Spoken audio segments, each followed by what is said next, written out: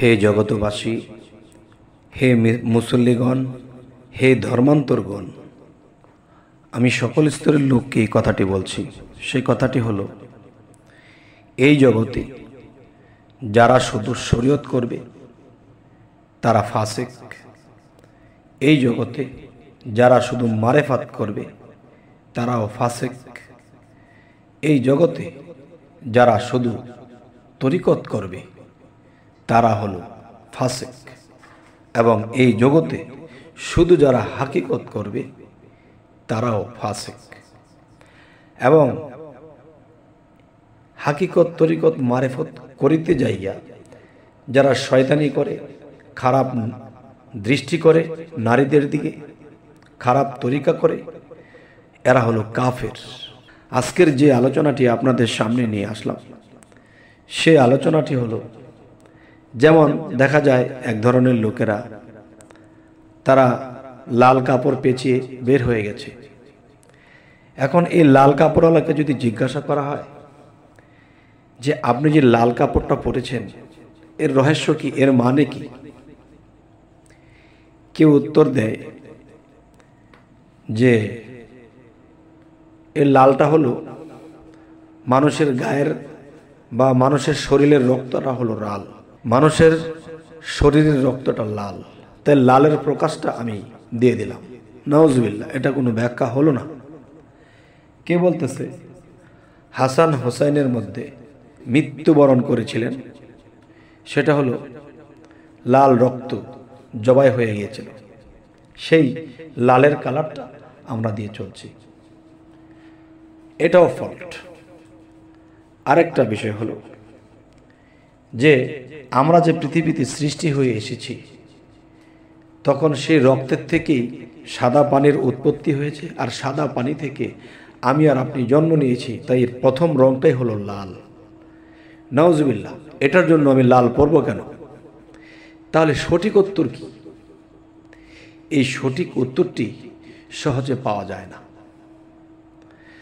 তবে আরও একজনকে জিজ্ঞাসা করা হয়েছিল যে আপনি এ লালটা কেন পরেছেন?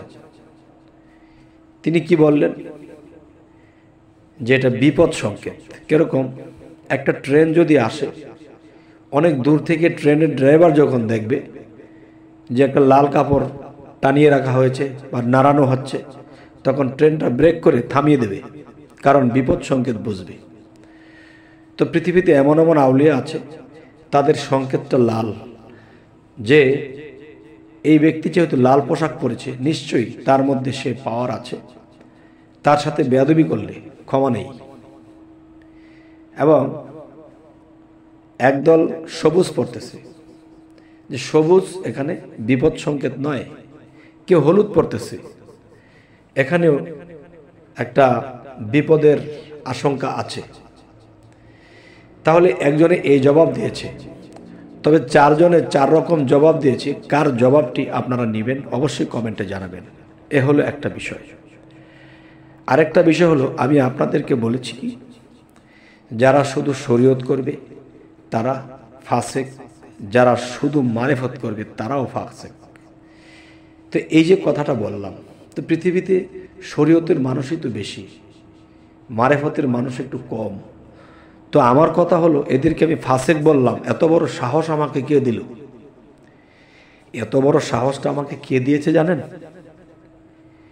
আমি এটা গ্রন্থে পড়েছি। বড় বড় হাদিস দলিলের মধ্যে আমি পেয়েছি। যদি সে হাদিস দলিল ঘাটতে যাই তাহলে আপনাদেরকে সেটা ঘেটে দেখাতে পারব না, যেহেতু সাত আট মিনিটের ভিডিও। তবে আমি দেহ কোরআন থেকে একটা দলিল আপনাদেরকে দিচ্ছি।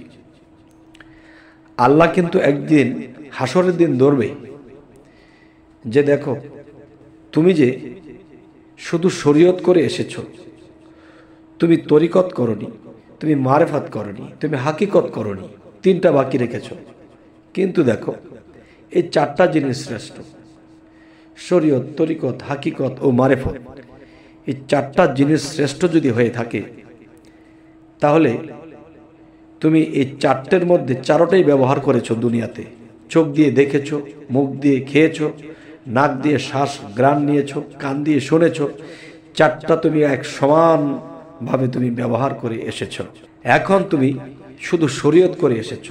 শরীয়ত তরিকত, হাকিকত, মারেফতে চারটা শ্রেষ্ঠ। যেমন তোমার নাক, মুখ, চোখ, কান, এটি তোমার মধ্যে শ্রেষ্ঠ ছিল। এই চারটা একযোগে তুমি ব্যবহার করে এসেছ। কিন্তু তুমি এখন এসেছ একটা করে, শুধু শরীয়ত করে এসেছ।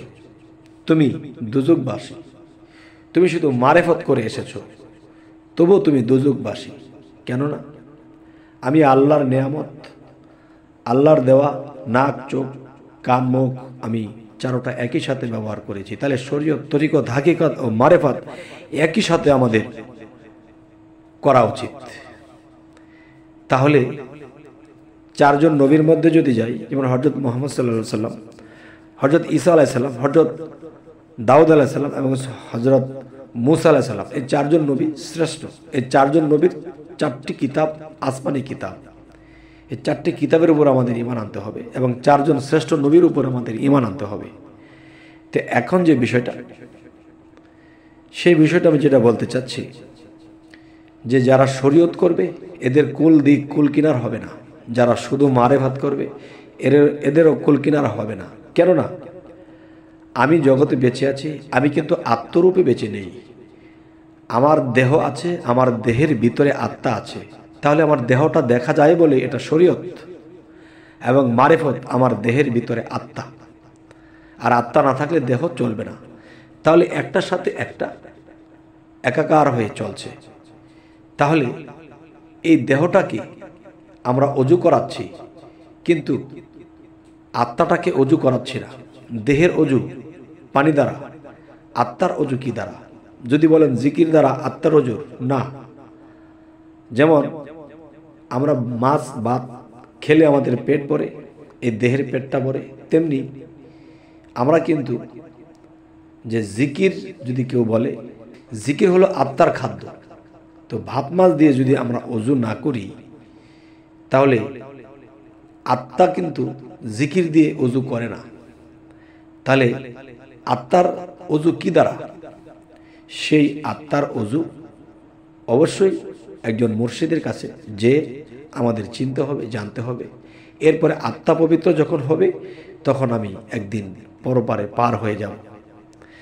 যাই হোক, আজকের মূলে যে আলোচনাটি ছিল, যারা একটা করবে, তারা ফাঁসেক হয়ে যাবে।